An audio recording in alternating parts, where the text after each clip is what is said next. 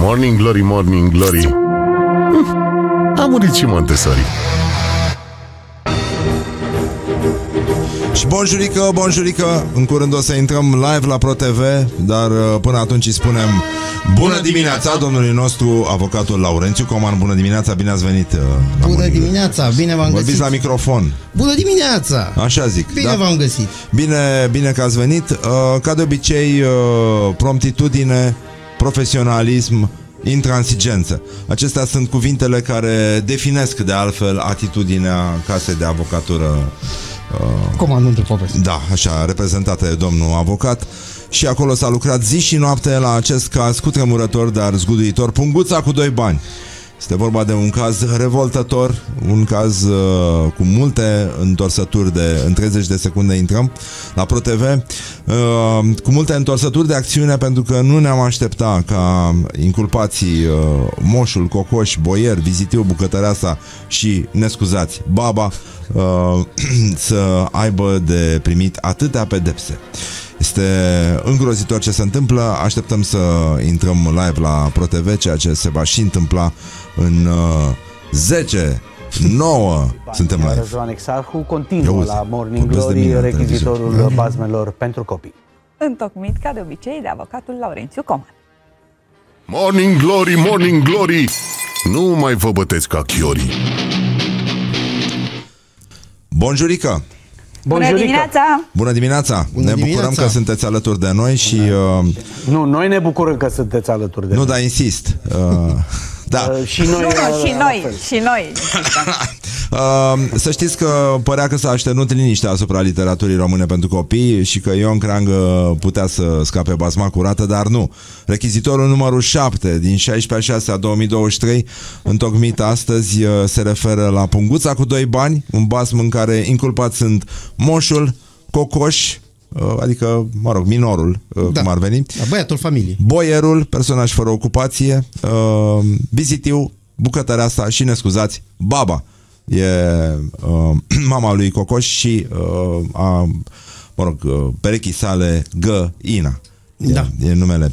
Uh, basmul, dacă vă aduceți aminte, începea așa cu o, era odată o babă și un moșneag, baba avea o găină, moșneagul un cucoș, găina babei se oua de câte două ori pe zi și baba mânca o mulțime de ouă, iar moșneagului nu da niciunul și i-a zis uh, baba moșneagului, când i-a cerut uh, moșneagul ouă, uh, dacă ai poftă de ouă, bate și tu cu coșul tău să facă ouă și îl mânca. Eu așa am bătut găina și ia, ia că tot cum se ouă. Și de aici a plecat, uh, după cum știți, uh, uh, basmul, dar de aici a plecat și rechizitoriul. Da. Așa că o să ne uităm la prima încadrare. Da, trebuie să nu uităm că situația, de fapt, care a declanșat a fost uh, înțelegerea dintre cei doi soți, Moșu și, mă scuzați, Baba, Da, da. Uh, în ceea ce privește regimul separației de bunuri, pentru că este evident că fiecare era cu treaba lui, cu bunurile lui și așa mai departe. Iată, Dar n-avea un contract semnat. Ba, cu siguranță aveau, pentru că doar așa poate fi... Adică nu poate fi doar caracterul infect al, mă scuzați, babei. nu, nu, nu, ci el a fost materializat într-un contract înainte de încheierea căsătoriei sau atunci, odată cu încheierea căsătoriei. Spuneam, plecând de la acest regim al separației de bunuri, ajungem în situația în care uh, oarecum condus către o astfel de atitudine, ajungem la rezoluția infracțională a moșului, care bate cocoșul, adică băiatul, care Da, era minorul. minor, da, și aici avem uh, infracțiune de, o infracțiune de violență în familie și o altă infracțiune de rele tratamente aplicate minorului. Uh, bineînțeles, mai avem și uh, însușirea bunului găsit sau ajuns din eroare la făptuitor, pentru că nu e așa A, este cocoșul cocoș. disperat. Da. Uh, pleacă de acasă, pentru că nici cocoșul nu scapă nepedepsit. El uh, ia punguța, Da, ia punguța deci își însușește un bun Exact. care nu-i aparține, Da, însușește. însusește. Da, însușește. E un bun etilotest, un apel către poliția rutieră, învățați de la Morning Glory, vă învățăm numai de bine. Da. Și apoi continuă cu o altă infracțiune de furt, cocoșul, atunci când ajunge în curtea boierului și preia vitele, banii și așa mai departe și se duce cu ele acasă. Asta este o tâlhărie Nu e o tâlhărie, e un furt, că n-a făcut-o cu violență, ci pur și simplu le-a sustras. Dar uh, totuși văd că avem totuși o, și o încadrare de tâlhărie. Aici. Uh, Tâlhăria avem la Boier. Da, da, Boierul, da, era un cunoscut uh, Interlop. interlop, da, în zonă și Boierul chiar are șapte infracțiuni, adică sunt destul de multe. Avem patru infracțiuni de instigare la lipsire de libertate în mod ilegal, avem două infracțiuni Adică răpirea de instig- cocoșului și aruncarea lui uh, în fântână de către și în vizitiu. cuptor, da, da, și acolo avem o instigare pentru că vizitiu, de fapt, era mâna dreaptă a boierului, Da? Dar și boierul, văzând că nu reușește să facă nimic cu mâna dreaptă, atunci apelează la propriile Mâini simțuri și drepte, puteri, da. exact, și ia situația în, în mâini și chiar el uh, săvârșește două infracțiuni, una de lipsire de libertate în mod ilegal și una de loviri și alte violențe. Dar mai avem și lipsire de libertate în mod ilegal. Uh, autorul de data asta, instigarea aparține boierului și Da, autorul este, este vizitiv. ne scuzați, baba. A, și la babă, da, da, da, avem și la babă. Lovire, alte violențe, uh, boierul și vizitiul, lipsirea de libertate în mod ilegal, uh, instigare de la boier și autor de la vizitiu, sunt uh, o grămadă de fapte de violență și uh, ele se vor fi pedepsite, iată, după cum urmează. Moșul, ce, uh, ce încadrare, ce pedeapsă? Moșul are o pedeapsă pe care o execută Da? Închisoare de la Da. 3 luni la 2 ani. Da, de la 3 luni la 2 ani, dar pentru rele tratamente aplicate minorului s-a stabilit o pedeapsă de 6 ani și cum se aplică pedeapsa cea mai grea și apoi un spor de o treime pentru că suntem în cazul unui concurs de infracțiuni, el va executa o pedeapsă de 6 ani și 10 luni, ceea ce va fi destul de mult pentru vârsta pe care... Pe Boierul, care cât primește boierul? Boierul primește o pedeapsă de 15 ani, având în vedere că are, are multe fapte, sunt șapte Și instigare și infracțiuni. violență. Și instigare și Baba, autorat. ne scuzați. Da. Baba și ea are, pe lângă două infracțiuni ca cele ale moșului de violență în familie și rele tratamente, mai are și o infracțiune de loviri sau vătămări cauzatoare de moarte pentru că fica Ga Ina Da. a fost într-un final uh, primind atâtea lovituri pentru că n-a venit cu nimic acasă, a, a, care i-au A au adus repauzat. moartea. Da, a, A. a repauzat, așa este și primește într-un final 12 ani și 10 luni. Oh, foarte mult. Foarte mult, da. O pedeapsă da, foarte mult. dură, dar aspră. Da, probabil că va sfârși acolo. Dar uh, restul rechizitoriului auziți la Morning Glory. Vă mulțumim foarte mult și ne vedem vinerea viitoare cu alte acte de dreptate, dar și de justiție. Vă mulțumim! Morning Glory, Morning Glory Mi se mișcă dințișorii La Rock FM continuă Morning Glory cu Exarhu. Genul programului o mizerie. Și am rămas uh, aici, dar uh, spre marea bucurie a țării întregi care a putut să afle că totuși uh, lucrurile nu sunt chiar așa senine în lumea poveștilor. Așadar avem uh, punguța cu doi bani, un uh, rechizitoriu întocmit de uh, un complet prezidat astăzi de avocatul specializat în drept penal de altfel, Laurențiu Coman. Uh, avem violență în familie, avem rele tratamente aplicate minorul, minorului. Astea sunt încadrările uh, pentru moș, care, cum am aflat mai devreme, a primit o pedeapsă de 6 ani 6 ani.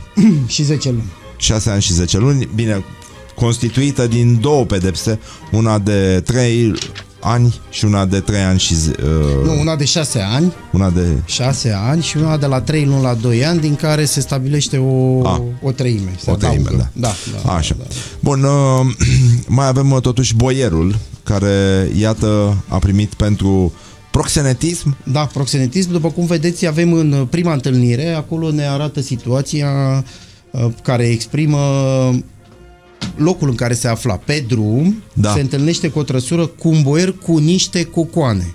Este Ah. evident că niște cucoane pe drum însoțite de un boier n-avea ce să... N-aveau, da, da, Nu, da. nu, nu. Poate că e și o prejudecată, dar chiar și așa... Uh, nu, nu, nu, e- că s-au e făcut bine. cercetări, da, Ah. și s-a descoperit că doamnele cucoanele, de fapt, erau de... aveau o probitate morală pus, depus la îndoială. Avem și o instigare de lipsire, la lipsire de libertate în mod avem, ilegal. chiar, avem chiar patru Adică infracțiuni. l-a îndemnat pe BZT-ul Da, da, să da, da, azvârle cu coșul în uh, fântână. Da, întotdeauna când determin pe cineva să săvârșească o infracțiune, suntem în situația în care uh, poți fi acuzat de instigare la săvârșirea unei fapte de natură penală. În cazul ăsta avem instigare la lipsire de libertate, chiar trei infracțiuni pentru că ele sunt uh, săvârșite la intervale diferite de timp. A, Dacă era deci una prima dată aceeași- vizitiul și a doua oară da bucătăreasa. Are și cu bucătăreasa, da, da, da, sigur, sigur că da și așa cum spuneam și mai devreme, el uh, chiar are și o lipsire de libertate în uh, calitate de autor, pentru că ultima ultima în ultimă fază, când vrea să scape de cocoș, la el acasă, încearcă să-l arunce în visteria cu îl aruncă de fapt în visteria cu bani, dar nu mai apelează la nimeni, nici la mâna dreaptă, nici la mâna stângă, adică nici la vizitiu, nici la bucătăreasă, ci pur și simplu o face el, îl ia, îl aruncă, acolo avem și loviri și alte violențe pentru că aruncarea propriu nu s-a, se putea săvârși decât în condițiile în care îl ții uh, strâns, îl Da, da, îl- sugrumi, îl arunci, trebuie să-l pui într-o imposibilitate de apărare și așa a și fost. Da, putea să-l învelească în scoci și totuși n-a făcut-o. Da, și în această situație eram cum- tot în uh, cazul unor infracțiuni, evident. Și acum se întâmplă adeseori cu hamsterii care sunt lipsiți de libertate. Libertate, da, da, da, da. da. Sunt exact. exact. înveliți în scoci. În scoci. Așadar, boierul primește 15 ani cu executare. Da, o pedeapsă grea. Vizitiul. Uh, Vizitiul uh, scapă până la urmă mai ușor, adică are doar 10 ani. Mult, dar totuși nu suficient de mult pentru... Da, pentru... spune că instanța a fost uh, da, da, a clementă. fost, a fost, da, a fost indulgentă, a, până la urmă a văzut și faptul că el a fost determinat să săvârșească infracțiunile, nu neapărat că și-ar fi dorit, era și o relație de supunere, evident. de subordonare, de da. subordonare, da, între... Și pierdea slujba. Uh, Totuși părea Da, o zonă defavorizată. mult spus zona în care se slujba, da, petrece da. acțiunea.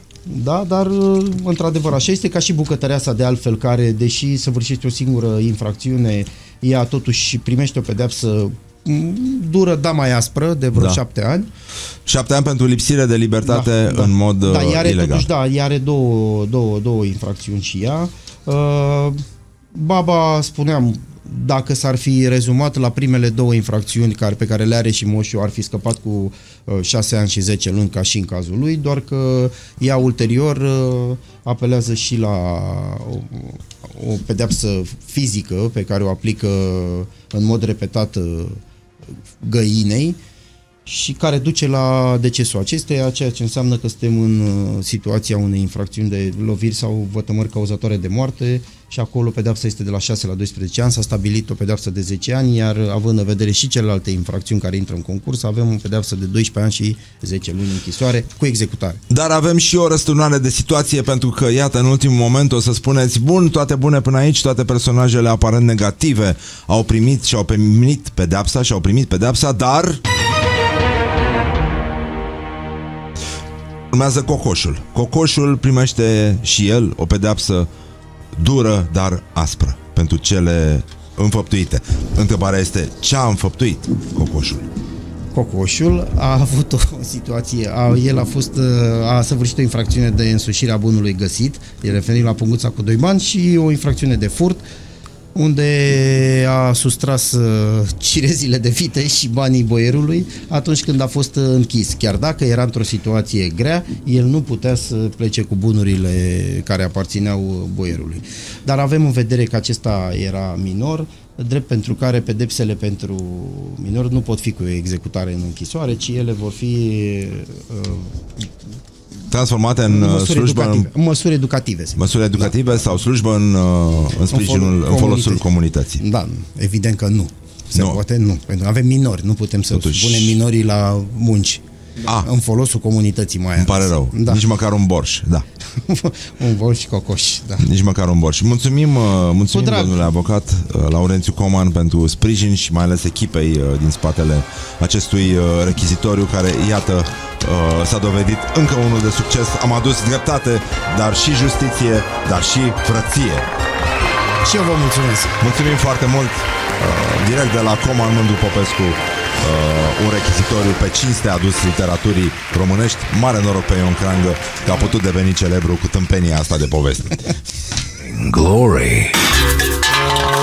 Stay tuned, or you'll be sorry.